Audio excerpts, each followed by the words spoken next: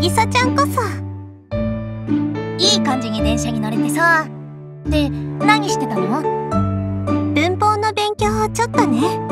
ほら作詞する時に間違ってたら困るじゃない？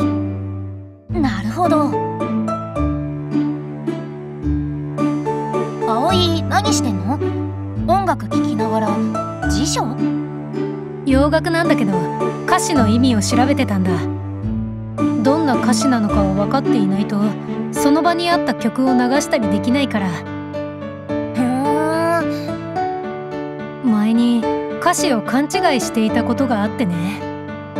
明るい歌だと思って瀬戸りに入れてたんだけど訳した歌詞が全然そうじゃなかったんだ。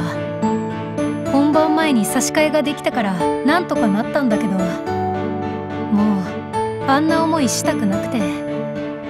そういう意味でももともと英語は勉強したかったんだ。そうなんだ。There is no way turning back. それってホライゾンタルホース？歌の練習？というより発音の練習。変な発音して歌の雰囲気を壊したくないでしょ？それは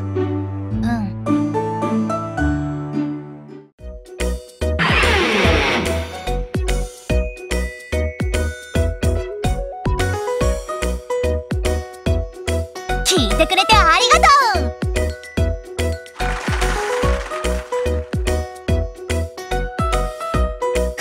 英語。オッケーサンキュー。褒めてくれてありがとう。イエーイ。今日はたくさん人が集まってくれて嬉しかったな。言葉の通じない人にも私の演奏が響いたってのも嬉しいっていうかあれは絶対褒めてくれてたよな。でも。ってことがあってさ。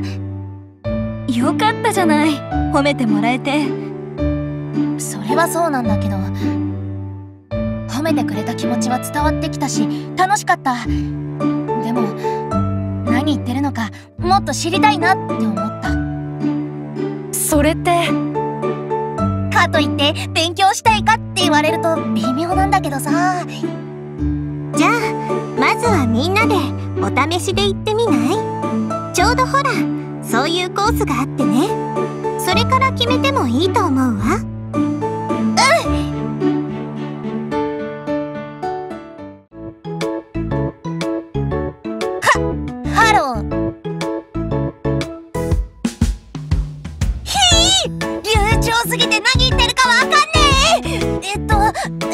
I am なぎさ大学生今日はよろしくお願いします。 Nice to meet you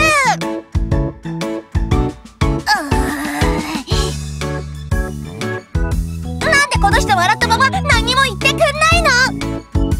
ヒヒーロー。先生意地悪してくるんだけど。意地悪じゃないわよ。渚ちゃん先生の受け答えに身振り手振りと日本語だったでしょ？心を鬼にして渚ちゃんのためにそうしてるのよ。だから頑張って。鬼って笑ってるんだけどこの人ううーんだからそのやっぱあれだな。結局ハートが一番だな。ってわけで私に英語は必要だ。逃がさないわよ渚。いやーどんな風に褒められたのかとかちゃんと知りたいんでしょ？そのためにも頑張るわよ。